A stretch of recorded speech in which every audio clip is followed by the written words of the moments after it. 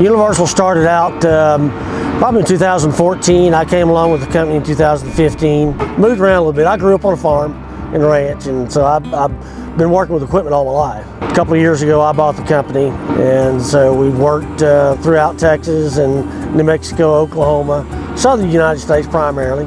We've diversified out of the pipeline industry into more of the, uh, I guess you might say, the renewables solar farms and the wind farms, and so just try to diversify a little more. Uh, this is a job that they're widening the road, and we're coming in clearing all the vegetation off within the right of way. And we were needing something that get down a lot of trees quick. If you really want to do what you're going to do with big trees, uh, you need the, the, the 430.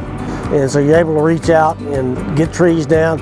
And on the mulching head uh, side of it, I mean, you, you can mulch from one area you know, all around you without moving around and, and basically, you know, sticking a machine because this was really tough ground and it was, uh, uh, it was a challenge. It's a good machine, it's got lots of power. You don't bog it down uh, a lot and it's just, um, it's, it's a pleasure to work with.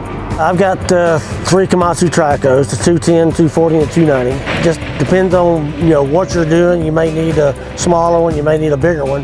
They hold up well, and uh, anything that uh, comes up with it, the service is there, and you just couldn't ask for it. Well, it's it's it's a combination: price, quality, and service. Uh, service is the biggest thing, and and I can say that about Waukesha Pearce and uh, the Komatsu people it's been a really good experience with them. They they take care of their customers. It's been a, a really big help to Universal, and so it's uh, it's been a good relationship. I get a lot of good expertise from all the staff up in Kilgore. Guys are really good, and uh, they're friendly, and they're just easy to work with.